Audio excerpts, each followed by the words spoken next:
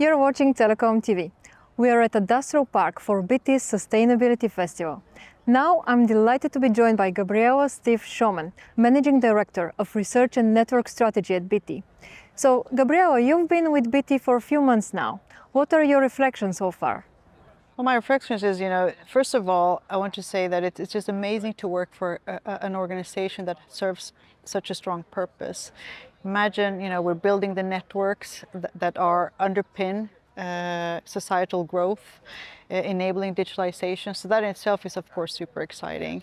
Uh, in addition to that, uh, now the first three months have been very much about getting to know the people, the organization, the opportunities, the challenges, and also to understand how network, the networks of today need to evolve to networks of the future uh, to serve our customers in the best possible way.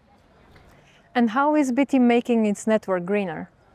Number of things. Uh, if I look at networks of the future, uh, we're doing uh, plenty of research around materials, trying to understand different materials in terms of cooling, energy consumption.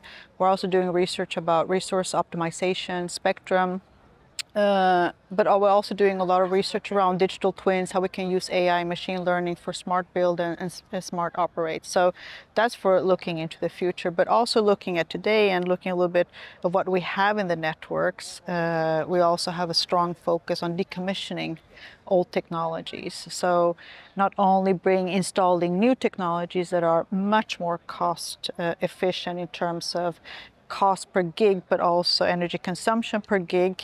Uh, but to really get to those green networks, we have to be able to switch off technologies like 3G, but also uh, our copper networks.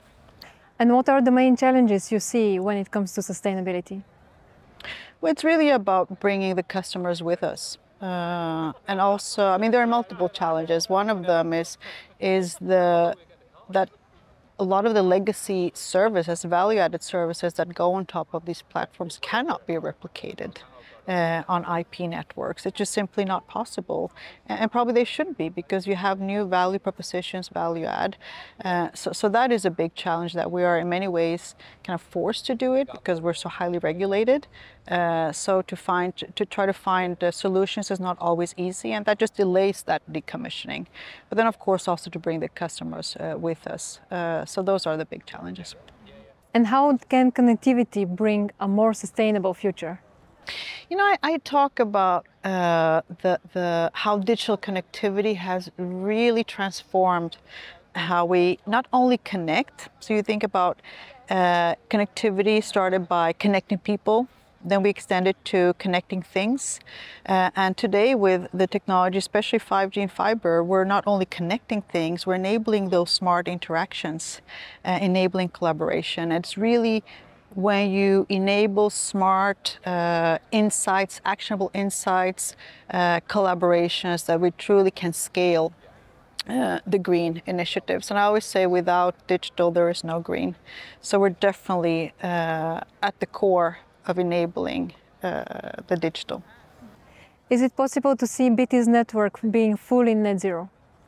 I mean, that is, that is the objective, uh, of course, but, but it's, it's a journey it's a journey to get there because uh, we rely uh, not only on our own uh, research of how to, to build and operate these networks, but on the broader ecosystem. Uh, our network consists of, of, technologies that we that we buy. So, so that's why we're working extensively with our suppliers uh, of how they are going to bring uh, enable us to reach the, that net zero. Which is why also we spend so much research effort in understanding the technology so that we can influence not only the standards, the global standards, of how we build and operate the networks, but also that we can influence our suppliers. And what are your priorities going forward? Well, the priorities are to, right now, refreshing uh, our, our, network strategy uh, to understand, really understand the so what of these new technologies. We have technologies like quantum, you know, to try to understand how that uh, is going to impact our customers in, in, in areas like security.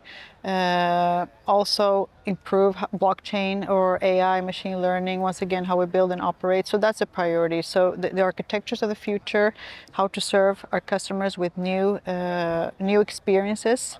Uh, and of course, that journey uh, of how to, to get there is also a priority. To it's I always say that well, strategies is, is, your north star, uh, but you need to have a very solid plan uh, to get there. So that is the next step that we're taking as well to kind of break it down, saying what are strategic priorities for us. Uh, automation is one of those areas that is really a strategic priority for us.